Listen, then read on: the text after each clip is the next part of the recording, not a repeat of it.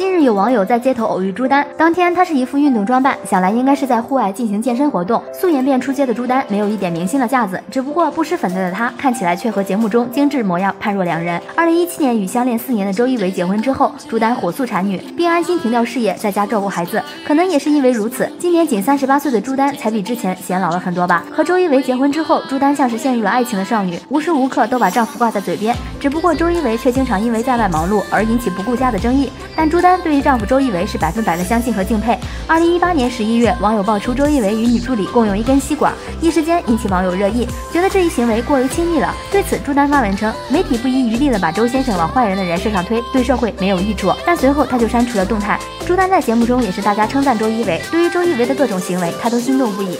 他坦言有一次与周一围去排队买电影票，周一围从裤兜掏出票让他帮忙拿一下，他突然就心跳加速，并感叹周一围这个男人的腿好长。网友觉得他的言论不是怎么恰当，又引起了广泛讨论。有网友表示崇拜自己的老公没有什么不对，但有网友表示朱丹这是捧杀。不过两个人过日子是自己的事，与他人无关。朱丹自己觉得幸福，那便是最好的了。